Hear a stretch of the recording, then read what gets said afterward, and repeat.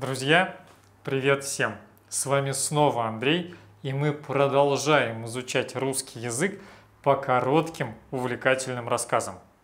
Сегодня я прочитаю вам захватывающую детективную историю про самого скромного и благородного фальшивомонетчика Америки. Не забывайте о возможности включить перевод рассказа на английский и другие языки в субтитрах YouTube. Итак, поехали! В 1929 году Эмерих Ютнер потерял свою работу.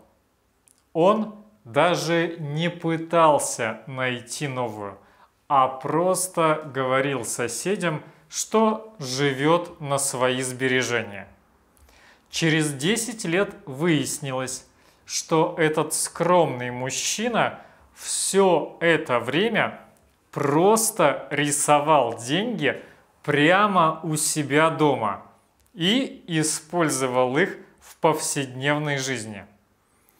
Время Великой депрессии заставило многих американцев искать дополнительные возможности. Эмерих оказался в трудном положении.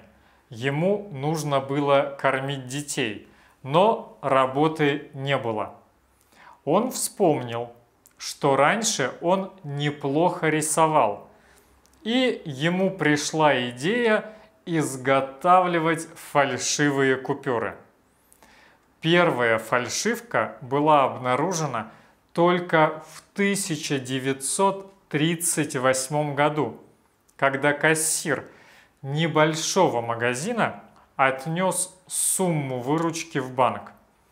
Клерк банка просто не мог не заметить подделку.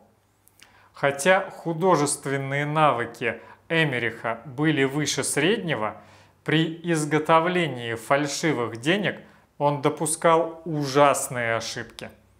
Например, он даже неправильно написал фамилию президента на купюре. Вашингтон превратился в Вашингтон. Да и изображение самого Джорджа Вашингтона на банкноте было далеко не идеальным. Финансовая служба немедленно принялась за расследование – они сформировали специальный отряд, чтобы найти преступника. Но это оказалось непросто. Номинал всех фальшивок составлял всего 1 доллар, что ставило экспертов в тупик.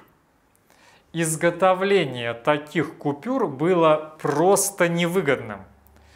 За месяц всплыло 40 однодолларовых купюр, а за год их число составило 585. Злоумышленник, получивший по номеру своего дела кодовое имя мистер 880, продолжал делать очень плохие банкноты, но при этом оставался неуловимым. Известно, что большинство фальшивомонетчиков попадаются из-за своей жадности. Они теряют бдительность и начинают сбывать подделки большими партиями. Мистер 880 был совсем не таким. Он ни разу не потратил деньги в одном и том же месте – и при этом сбывал не более 15 долларов в неделю. Карта Нью-Йорка, на которой агенты отмечали места обнаружения липовых долларов, скоро стала красной от флажков.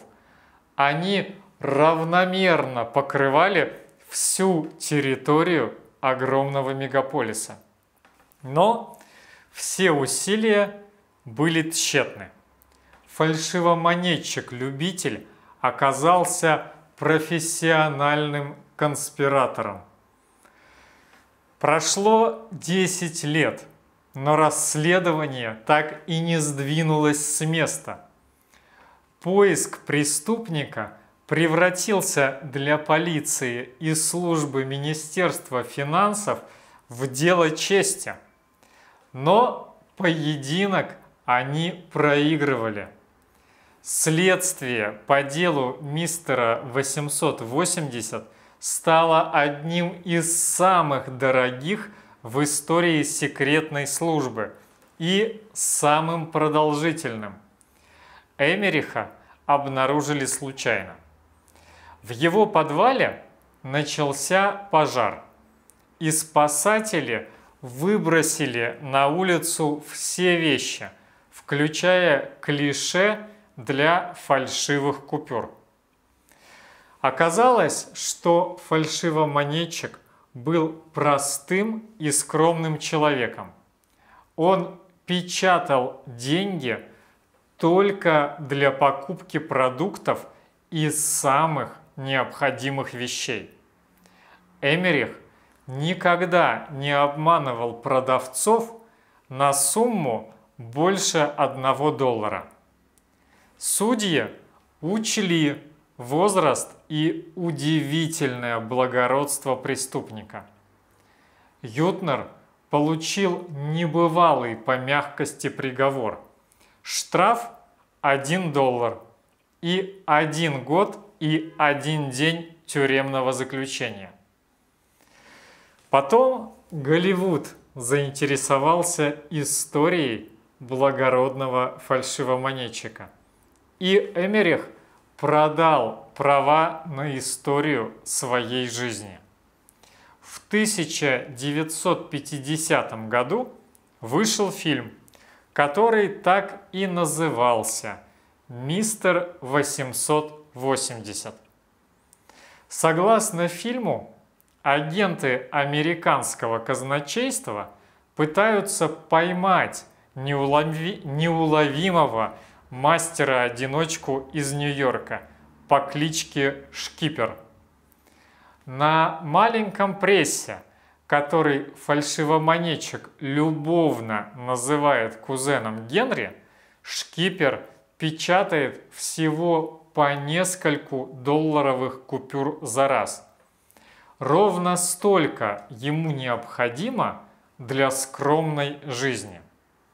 Шкипер – работает старьевщиком и иногда тратит фальшивые доллары на то, чтобы соседские мальчишки в волю повеселились на Кони-Айленде.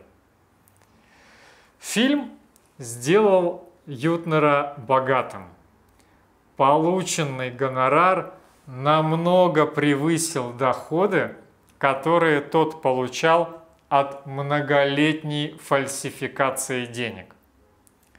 Эмерих Ютнер был освобожден из тюрьмы спустя 4 месяца.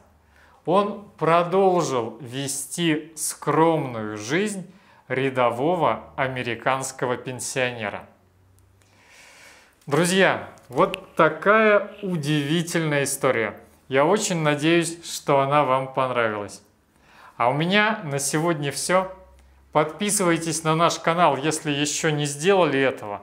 Огромной вам удачи и пока!